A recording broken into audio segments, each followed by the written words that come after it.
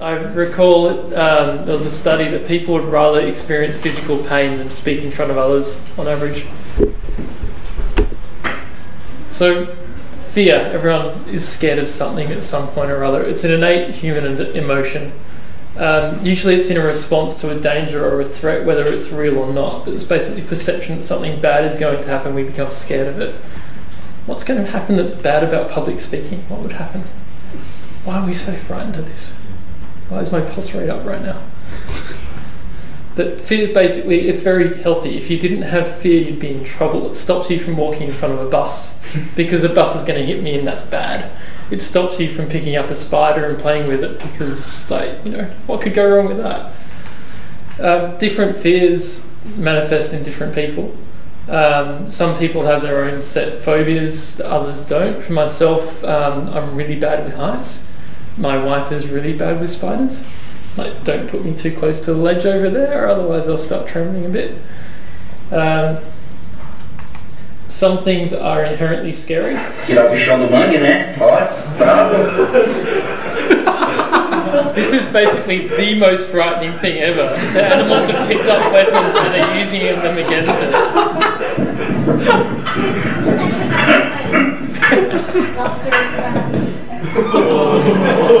it's using the knife. This is what's so frightening. Is it painted? Huh? That's just the markings on the oh. crab. The animals have risen. It's bad. Regular expressions may invoke similar kinds of fear in people. We've all got our own little quirks about what scares us or not. I have no fear of regular expressions, which makes me weird. Actually, there's a whole series on these. I, I love every yeah. single last one of them. I could have just sat here tonight and flicked through them and laughed, but yeah. So, what's it like not to have any fear at all? There is one person, what are we, six billion on Earth? Seven? Seven, seven billion? One person known to science who has no fear. She had a problem with her amygdala because that's what's in your brain that controls fear. Uh, she's known as SM in the study. Um, she has absolutely no fear of anything whatsoever. So, naturally, since she's known to science, um, she's had a lot of studies done on her to see what she actually does. Um, one of the things they did is they took her to a pet store with lots of exotic creatures in there just to see what would happen.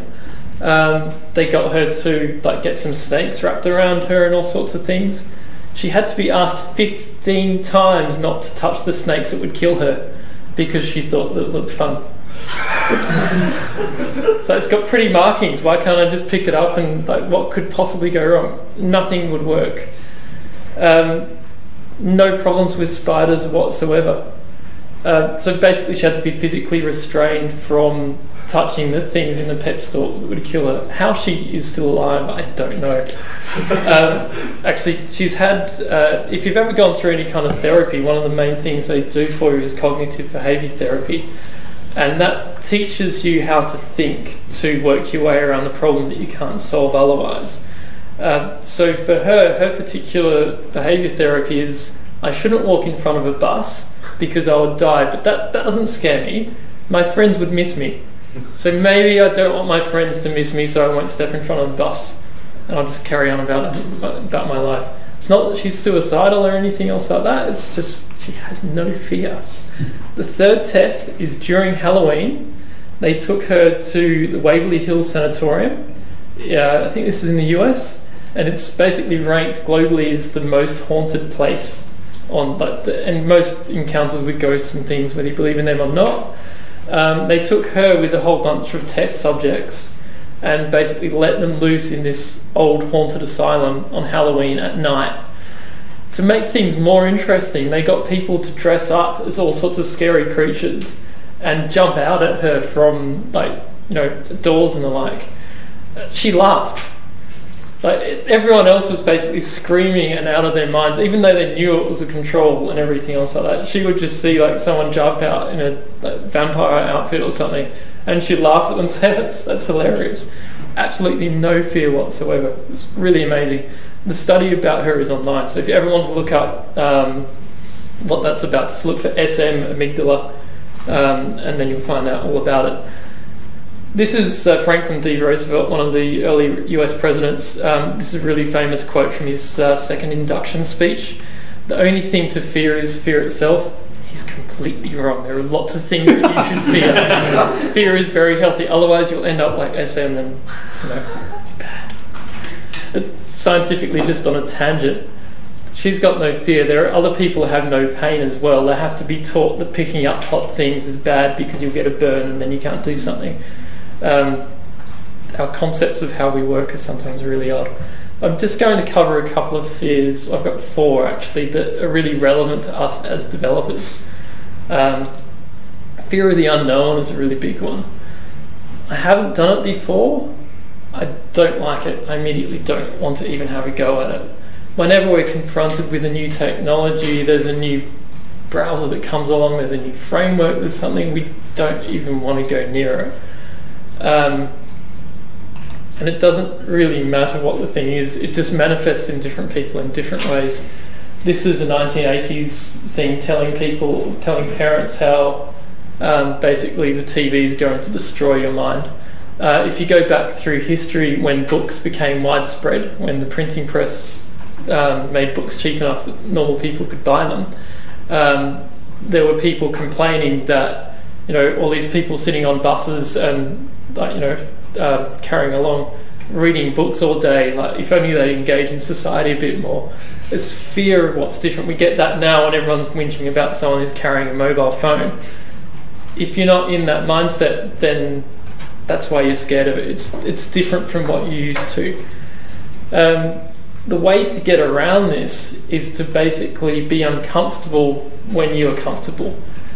As soon as everything becomes normal you need to disrupt it um, you need to basically invoke some sense of anarchy into the way that you run your life, just to throw something different at yourself. We, we revel in things being the same. We want tomorrow to be the same as yesterday. That's our, our perfect way of doing things. But the reality of that is not very good for us. Um, fear of failure is huge. Uh, it's particularly rife in some cultures more than others. But basically, instead of trying something new, I'm just going to stick to whatever worked last time, and no one's going to blame me for it going wrong. Um, the problem is that that only gets you so far. Um, this is an error message that's just handled really badly, and it was funny, so I thought I'd include it. Up the top it says failure if you can't read that. Uh, basically, um, there's a precautionary principle which basically says this is the extension of fear of failure, rather than actually um, go out there and try something different. You just have to win every time. You cannot fail. Um, the reality is, you need to fail often and fast.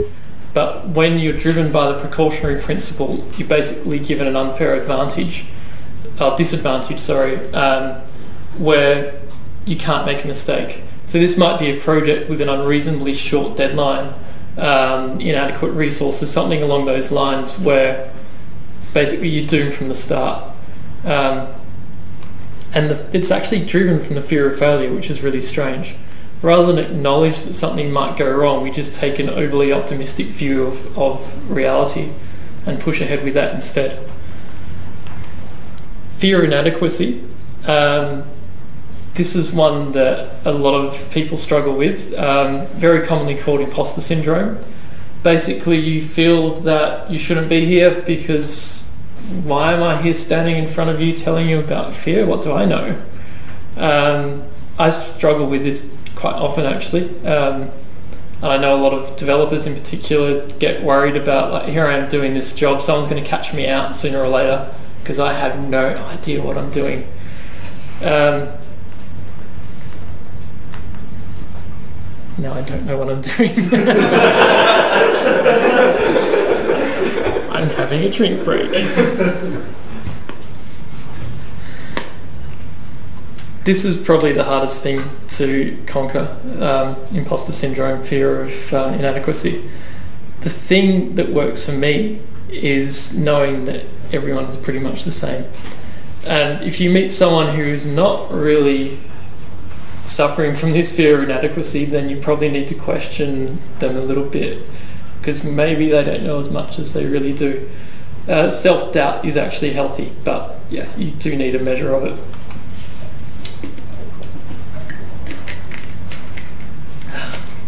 Ah. Yasu. FOMO. Huh? It's got FOMO. FOMO? Fear. Fear of missing out. Ah, see, I'm old. I don't know things. Fear of being old. um, everyone else is doing it. It's got to be good. In our industry, everyone else is Google or Facebook or Microsoft or Apple or something else like that. Um, I got told that Agile, uh, sorry, not Agile, um, Angular was fantastic because Google had written it. Like, Google don't even use it, so how would they know anything about it? But it's not a good reason to do something just because someone else is doing it. Um, because otherwise, you're going to end up just like everyone else, which is probably safe and happy, but you're never really going to excel. You're just going to be average and boring and in the middle for the rest of your life. Um, basically, you end up in a cargo cult situation at its worst. Um, cargo cult uh, was from World War II when the US Navy would do airdrops of supplies on Pacific islands. And basically, for the, the locals who were living there, hadn't really had much contact with technology, these magical birds would come out of the sky, drop all these wonderful things on the ground, and then go away again. When the war was over, they wondered where the magical birds had gone. So they built their own planes out of um, like the materials that they had with them, in a hope that the gods would come back again. This is cargo cult. They basically worship sea containers and things like that because they had no idea what they are. We do exactly the same thing when we adopt a framework or follow someone else's suggestion without thinking about how they've done it. Um, what it wraps down to is inaction is inaction. If you just sit there and let things slide, you are actually ta- you're doing something. Um, this is one of the key outcomes from the Nuremberg trials from World War II. A lot of the guards' defences in um, the concentration camps was to say that like, I was just given orders, I just did what I was told, I just followed them, I can't be blamed. The judgment from Auschwitz was that you can be blamed, that you should have stood up, even if it was to be killed yourself. It's not good enough just to stand by and watch something happen. Um, and this is there's that fear that you're going to be called out and that you'll suffer. And yeah, you've got a choice that you can either keep running and see what happens, or you can at some point look at your surroundings and hopefully change course. If we become too safe, then the rest of the world have moved on while we're still basically running off the edge of the cliff. This is basically a fair number of you may work in startups. Uh, does Viki count as a startup? Maybe? no, No. kind of, not really. You were once, maybe. Yeah. Once, yeah. The whole, the whole thing these days about startups and disruption is all about looking for the companies that are wildly coyote and trying to find out who they are and basically like taking their market from under them. Um, but every single one of us does this on an individual level where we're basically left behind on our techniques at some point or other because we're not really willing to change. How do we get around this? This is the scientific method. We can fix everything with science. If you've seen The Martian or read The Martian, then you know you can fix anything with science. Um, I'm just going to go through some of the points of the, the scientific method and how you can basically use them. So I'm not going to go through everything that's there, but go through it yourself the scientific method's really good. The first thing you need to do is not be a piece of furniture. If you're in a meeting and you don't ever take part, then you are a piece of furniture. If you don't question the decisions that are being made, then you're just basically watching on the sidelines. You need to be careful about taking it too far. Um, if you question everything arbitrarily, you become really annoying. Um, the common term for that is a client, I think. um, there needs to be a rationale behind your questions. You need to think about what you're doing. you'll get better at that when you have experience, but experience isn't everything. Um, but questioning is basically the start. You form a hypothesis that something may be different from what it is. This is from um, DigitalOcean, who are well aware that as humans we have a built in resistance to change. This is something that Facebook found out really quickly early on. Every single time they change something, they test it out and they find that it didn't test as well as they thought it would. The reason that happened is anything is different is bad as far as humans are concerned.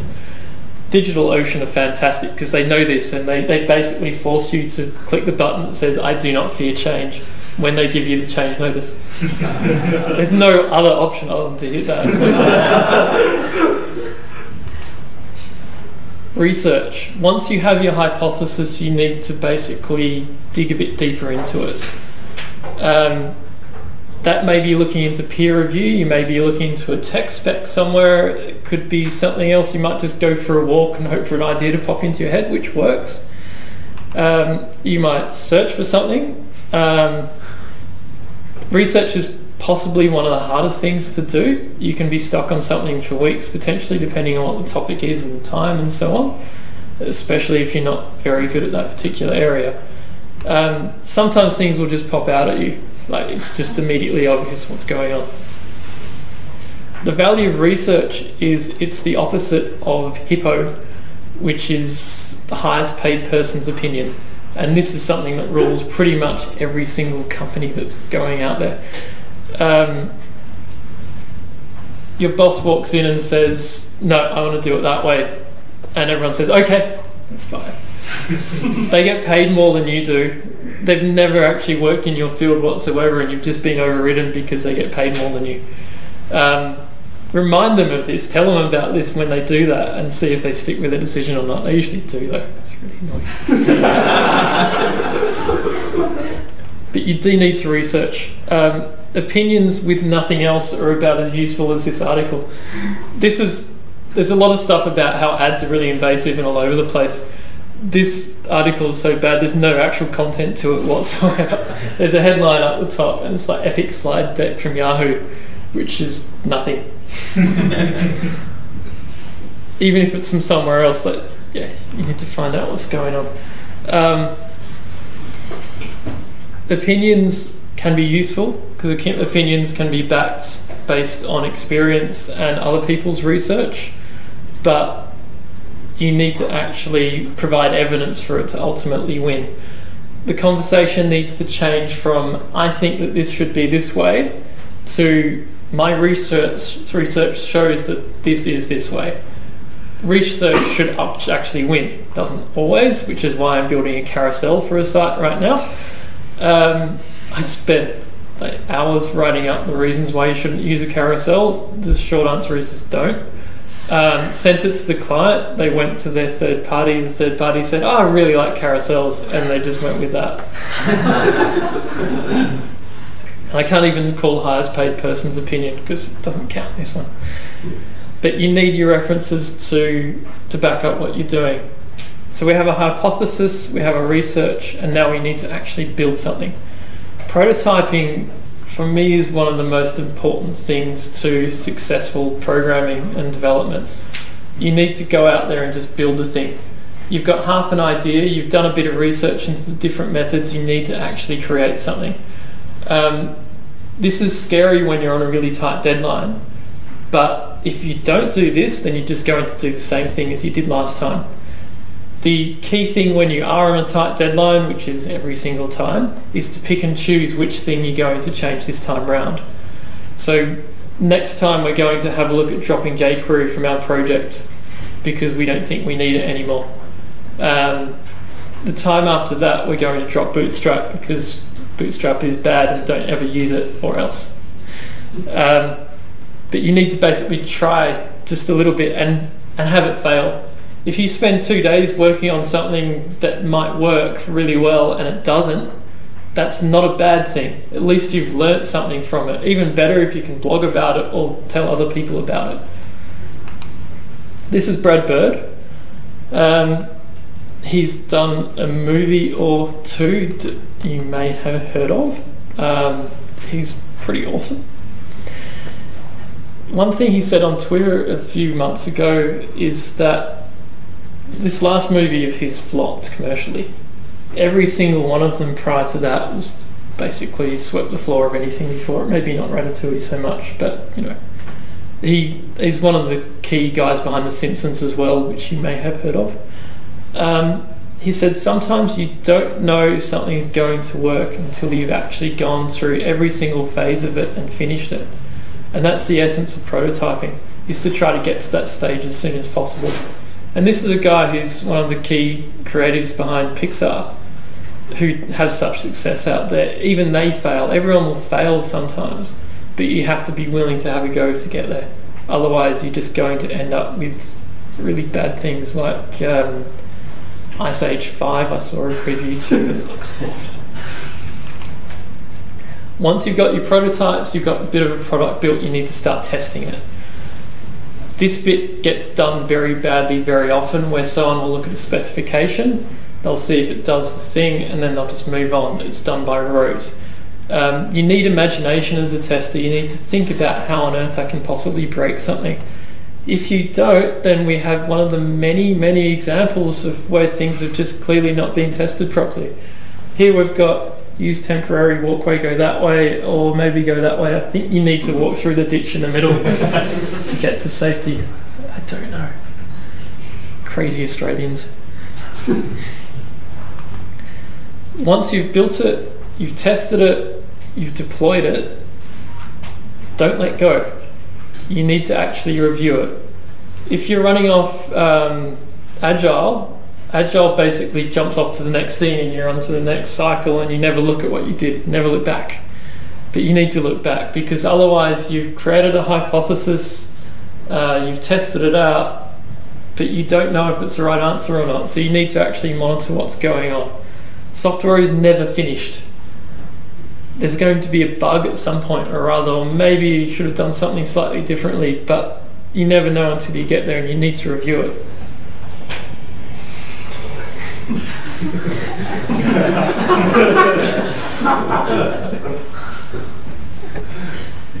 Your users won't come to you and tell you what's wrong, you need to tell them. This the ultimate point that you can be at as a software developer is when the person phones up and says, hey, it's broken, is for you to say, yeah, I know, and we've already got the patch ready for deployment. That's this Chinese medicine guy, obviously. the problem with that is that sometimes you'll have a bit of pressure. um, but a lot of these things is basically you having the, the individual initiative to do this on your own. You will not get support. You may get support for some things, you won't get support for a lot of other things. So even though Dear Leader is looking on and, you know, let's move a little bit to the left, click. Yeah. Um, you have to just go ahead and, you know, anticipate a firing squad or something if you don't review, then you'll never know exactly how you ended up. You won't know how successful you were. Failure is usually pretty obvious because things just don't go very well. Um, with Amazon creating the Kindle, they sent it out onto the market. Every bookseller was basically in a panic, thinking that the end was nigh. No one was going to buy a book anymore because why would you? You can just download it and it's there and it's fantastic. The reality is really different. The reality of the Kindle is it's actually a niche product. It's now basically plateaued at a really small level of the market amongst certain types of readers, and no one else uses them. And that's fine. When Amazon created it, they created it and they threw it out there just to see what happens. You could look at it and say, well, it's not dominating the market completely, so it's a failure, but that's not correct. That's where your review process comes in and says even though we didn't meet the original goal for whatever that was, it's still a measured success. And you'll see a lot of criticism at the moment for the Apple Watch, um, which is just done. The estimates are about 12 million sales and about 6 billion net profit. Uh, Rolex made in total four and a half billion last year. No one's telling Rolex that they failed, yet everyone's saying that Apple did. It's all relative according to what you're doing. Apple won't tell us what they're trying to do, which probably means they think it's a failure themselves a bit, but you know. The question, what it really gets down to, is what have you possibly got to lose? And if I ask you this, then you'll give me a ton of reasons. I can tell you lots of things that you've got to lose. But you've got an awful lot to lose, even if you're not aware of it. Um, this is one of the first digital SLRs that was ever created in 1989. Um, Steve Sasson was working at Kodak and he invented the digital camera in 1975. Um, he showed it to all the bosses that he created it, gave him the funding, built the thing. I think it did about 100 pixels by 100 pixels, but you know, pretty awesome. First digital image. And they said, yes, but we're a film company, we don't do that. And sent him back to his lab. So carry on with it. Know, see if you can come up with something. Nothing. 1989, he invents digital SLR. Every other market, every other camera maker on the market ended up making that, um, like DSLRs and what you've got in your phone these days. Um, Kodak went bust in 2012 because they just lost it. They were so obsessed with what they were trying to do that they're a film company, not a digital company, that their entire company disappeared underneath them. If you don't change, if you don't take that leap, then everything you know will be gone even before you know what's going on. Um, and this is a fictional character, and we can always trust fictional characters. Uh, until you've lost your reputation, you never realise what a burden it was.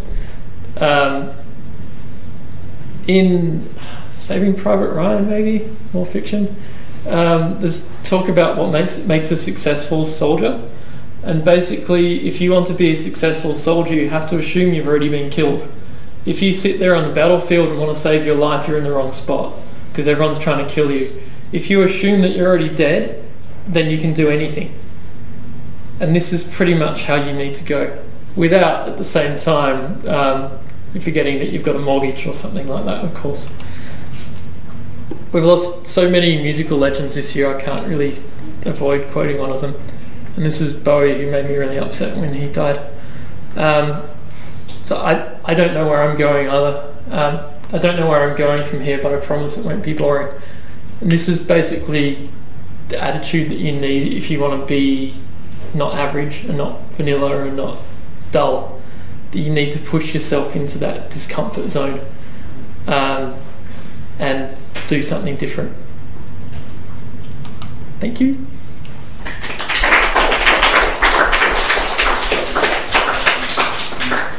Anyone with questions about fear?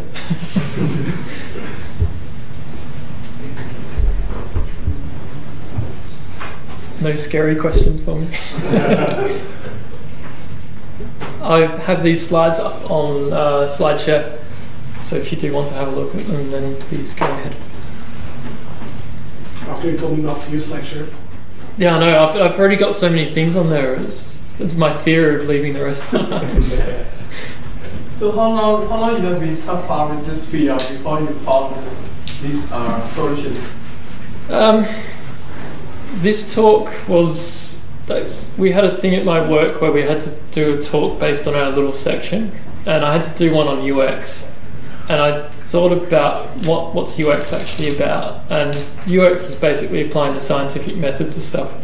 And then it was like, well, what's the scientific method really do? It's like for developers and you know, that kind of thing. It's really about getting rid of fears. It helps you not worry about stuff like that. Um, so it's a really random reason that I'm up here talking today. This talk actually got cancelled because I was sick and then couldn't finish it in time. Um, so then, since we had no one else speaking tonight, I thought I'd polish it off. Um, it basically was a bit of introspection from myself and one of my co-workers thinking about the things that we face within our jobs um, and what we can actually do about them. I, it's not me standing up here and saying I'm perfect at anything because you know everyone fails at everything sooner or later. But it's just basically things that have helped in the past. It's like I was talking about cognitive behavior therapy. This is basically our own developer cognitive behavior therapy. Yeah. Actually, actually very interesting topic because the fear is everything we face in different ways Yeah. as a developer. So yeah, you, you, you, your presentation is really useful for us. Thank you. Yeah. Just like a philosophical discussion, the idea of fear is very scary because you can't measure it, it's unknown, and Mm. therefore it is scary, so you disproportionate it. But otherwise, if you think about it, fear is actually nothing because there's nothing there but your imagination. Yeah, it's entirely in the mind. Yeah. Which is very interesting. I wonder what that person without fear would be like as a software developer. Let's just build it. Nothing could go wrong. It'll be fine. Who needs backups? It'll be fine. we don't need source control. That's what your test servers for. Yeah.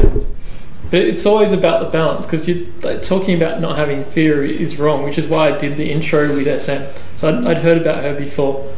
And you don't want to be without fear. Fear is really important. You still need to know what your fears actually are. What are the things that are holding you back? And you won't get it right every time because when something new comes along, you will be scared of that change. But when you're aware that you're scared of the change, then you can actually do something about it. If you're not, then you can't. If you believe that you can reverse the change, you kind of know yourself really well, and you know that, Yeah. okay, I can reverse change to this level, then you're willing to take that amount of risk to uh, change that bit. Yeah. And for people with phobias, that's exactly what they do with desensitization, basically. So you try something new. Um, for me, like conquering my fear of heights has Yeah. involved me. That's the same thing for. I climbed to the top of Sydney Harbour Bridge. My legs were gone. Yeah. I yeah, I was a mess, but I did it. Um, having done that, I climbed to the top of a tower in Sydney, and you know how when they look at glass and you, there's nothing Yeah. and it was really bad. And I walked on that, and it wasn't as bad, but yeah, it's even scary talking about that stuff. I did the same thing for heights because I had a very, I mean, um, now it's much better. I'm still afraid of heights, but then I, I went skydiving and all this stuff. Yeah, so okay, this whole time. No, because if you think about it, sometimes fear makes things that much. So fear is an emotion of a certain magnitude, right? So you can put it to your positive use, or you can put it to negative use. So if you fear something very much, it makes it that much more exciting.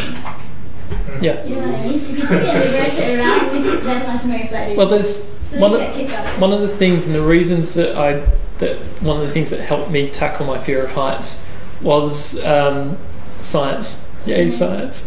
Um, the study into like how the brain works when you're scared. The only difference between someone on a roller coaster who's really enjoying themselves and me is there's a switch in the brain. The things that are happening are exactly the same. Your pulse rate is up. Your eyes are like you- you're basically really wired one person is petrified, the other one's having the time of their lives. I have the really bad fortune of having a son who loves roller coasters, a wife who has a, a couple of rods down her back that prevents her from going on them, and dear old dad who has to go with him. Um, luckily, I'm not that bad at those things anymore, but I still find it pretty scary. But yeah, th- there's no difference between fear and excitement other than what your brain tells you that you're experiencing. But you pre-program yourself before you do it. Yeah, that's uh, priming. Yeah. Um, I, I was doing. I'm doing a um, running a thing at the moment on um, waiting times and progress indicators and things like that. And the psych on that is basically you prepare someone for what's happening next. When you are scared of something and you know it, you're preparing yourself to be scared. When you are prepared for it and you've got a different tactic to try this time around, then you're going to have a better chance of success. Yeah, uh, the other thing is the, the way how we, we see the problem. So basically, we, we, we afraid of fear because we think this is something we cannot do. Yeah. That if we can change the way, okay, we can maybe we, we, we, we lie ourselves, okay, I can do this.